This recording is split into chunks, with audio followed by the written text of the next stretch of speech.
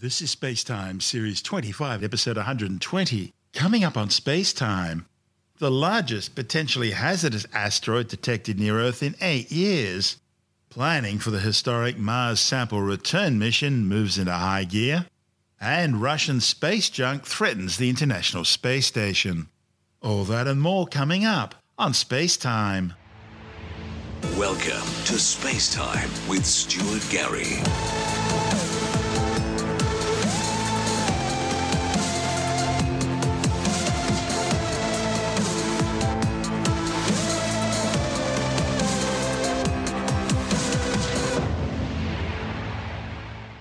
Astronomers have detected three near Earth asteroids hiding in the glare of the Sun, including a 1.5 kilometre wide monster which could one day pose a threat to Earth. The giant space rock, named 2022 AP7, is the largest potentially hazardous asteroid discovered in the past eight years. Now, an asteroid this size wouldn't really be large enough to cause a mass extinction event, but it could easily wipe out an entire country.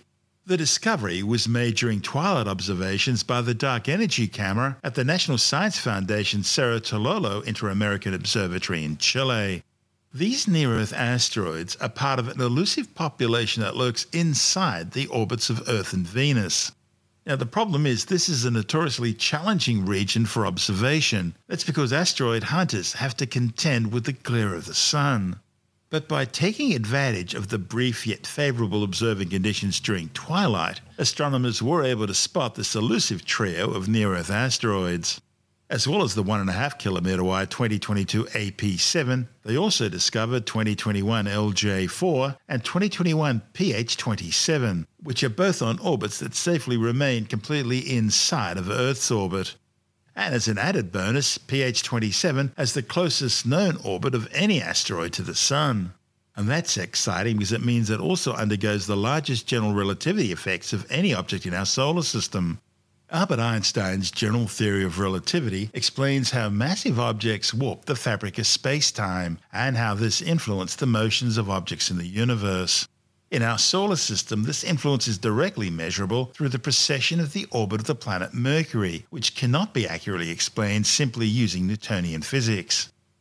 The study's lead author Scott Sheppard from the Carnegie Institute says the Twilight Survey has scoured an area within the orbits of Venus and Earth searching for asteroids, and it's already found several, including two a kilometre across or more, a size Sheppard likes to refer to as planet killers and he feels sure there are likely to be a few more near Earth asteroids of similar size out there yet to be found. Only around 25 asteroids with orbits completely within Earth's orbit have so far been discovered, and that's all because of the difficulty of observing near the glare of the Sun.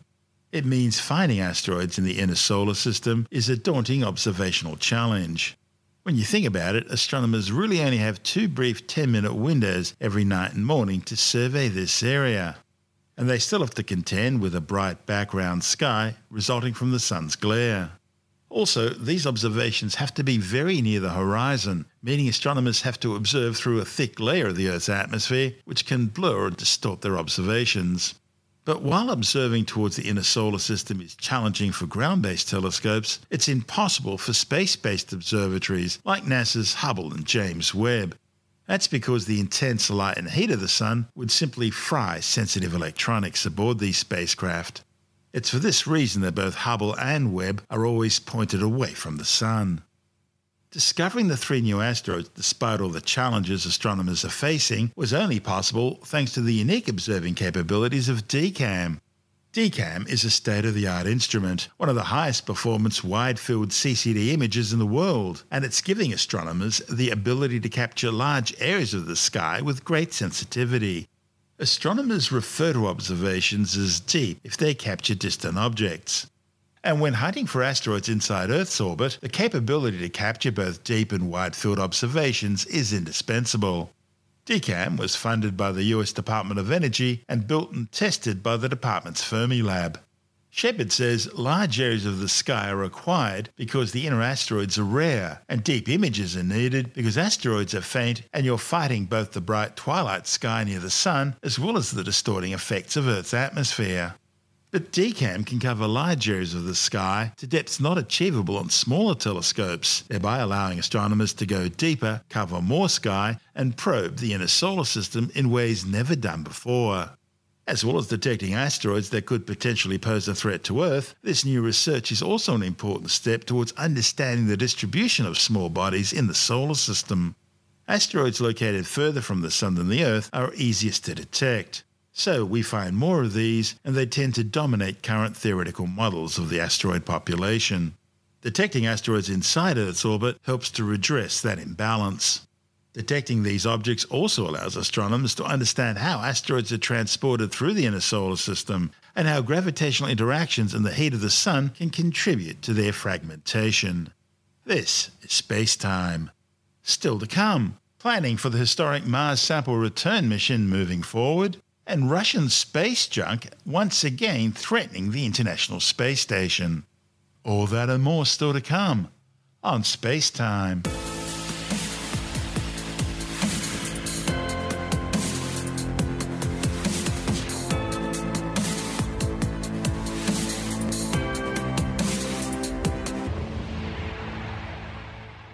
The next step in the unprecedented campaign to return scientifically selected samples from Mars has been taken, with a formal agreement signed between NASA and the European Space Agency.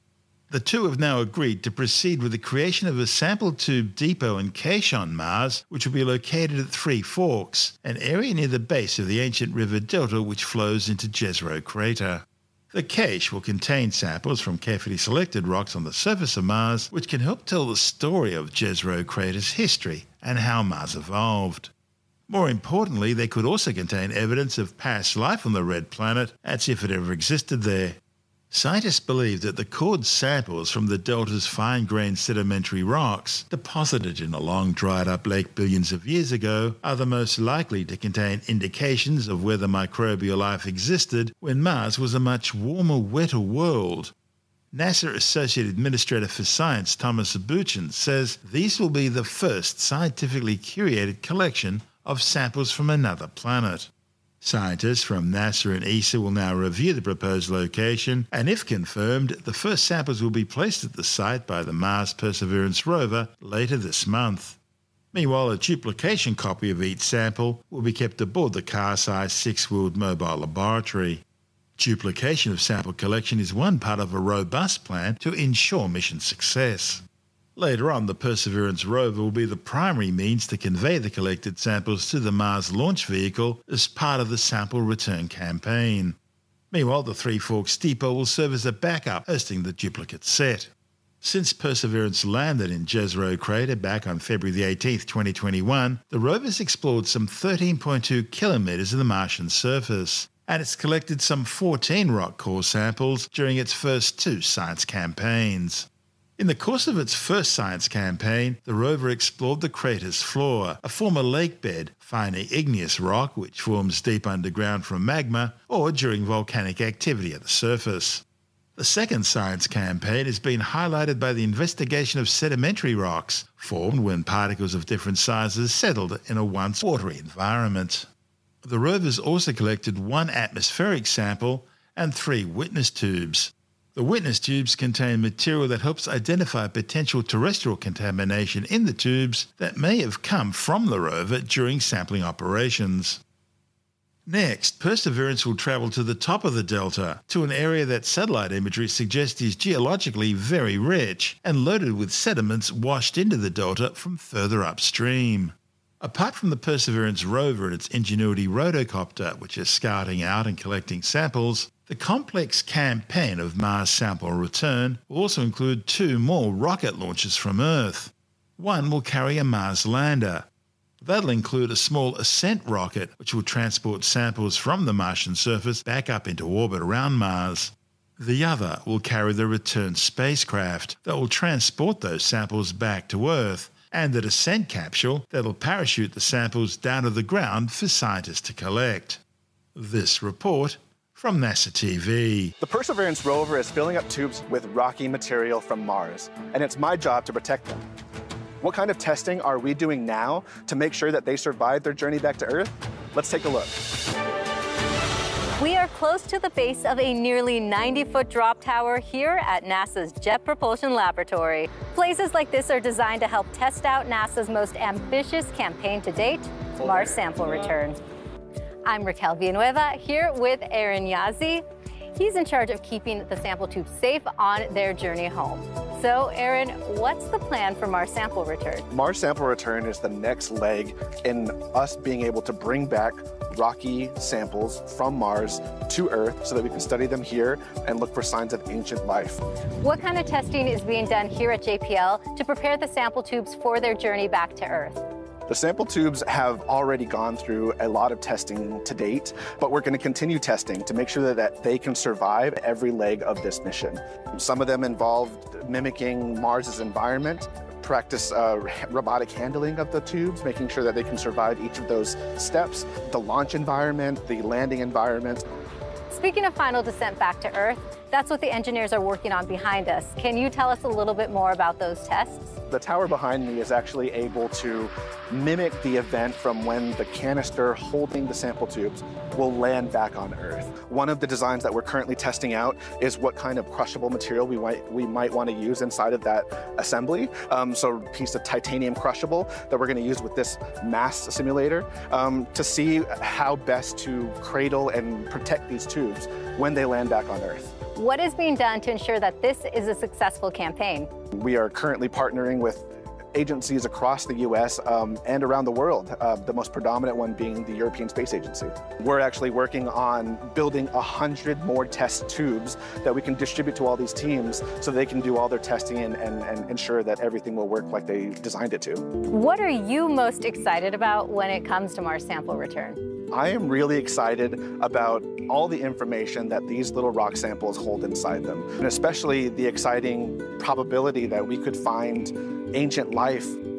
For me personally, I come from an area in the US that looks like Mars. The Navajo Nation is a rocky desert landscape, and it really reminds me uh, how similar rocky planets in our solar system can be. This is space time. Still to come. Russian space junk once again threatening the International Space Station. The world's largest aircraft, Stratolaunch, takes to the skies. And later in the science report, atmospheric levels of the three primary greenhouse gases all reaching new record highs. All that and more still to come on Space Time.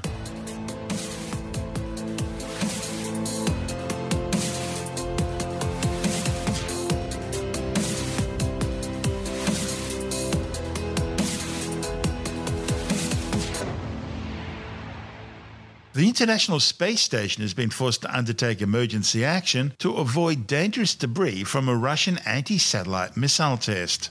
Mission managers fired the Progress MS 20's thrusters for a 5 minute and 5 second burn in a predetermined deorbit avoidance maneuver to ensure the orbiting outpost would fly clear of the fast approaching space junk.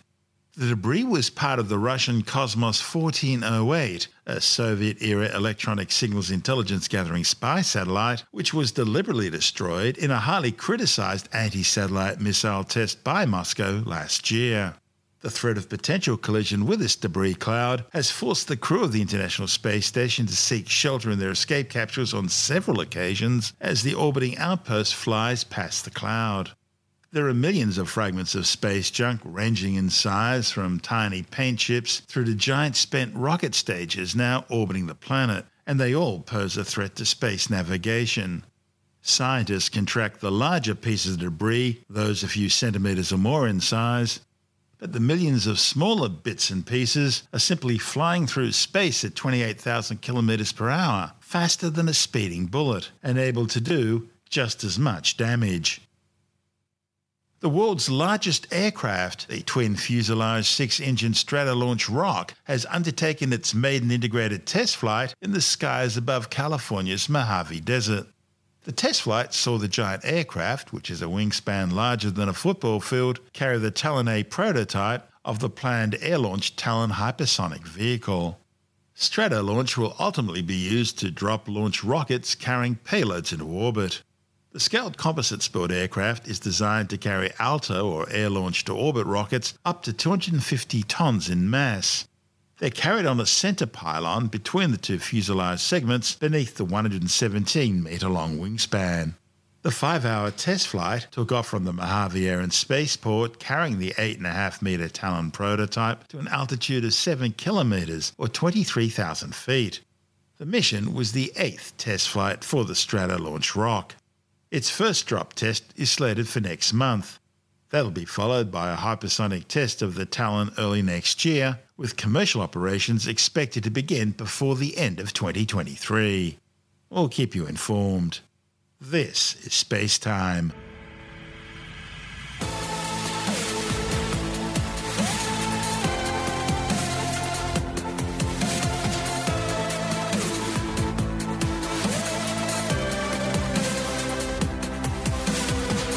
That's the show for now. Spacetime is available every Monday, Wednesday, and Friday through Apple Podcasts, iTunes, Stitcher, Google Podcast, Pocket Casts, Spotify, Acast, Amazon Music, Bitesz.com, SoundCloud, YouTube, your favorite podcast download provider, and from spacetimewithstuartgary.com. Spacetime's also broadcast through the National Science Foundation on Science Zone Radio and on both iHeartRadio and TuneIn Radio and you can help to support our show by visiting the Spacetime store for a range of promotional merchandising goodies.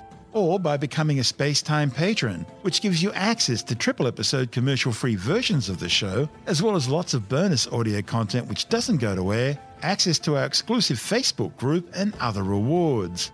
Just go to spacetimewithstuartgary.com for full details. And if you want more space time, please check out our blog, where you'll find all the stuff we couldn't fit in the show, as well as heaps of images, news stories, loads of videos, and things on the web I find interesting or amusing. Just go to spacetimewithstuartgary.tumblr.com. That's all one word, and that's Tumblr without the E. You can also follow us through at Stuart Gary on Twitter, at Spacetime with Stuart Gary on Instagram, through our Spacetime YouTube channel. And on Facebook, just go to facebook.com forward slash spacetime with Stuart Gary. And Spacetime is brought to you in collaboration with Australian Sky and Telescope magazine, your window on the universe. You've been listening to Spacetime with Stuart Gary. This has been another quality podcast production from Bitesz.com.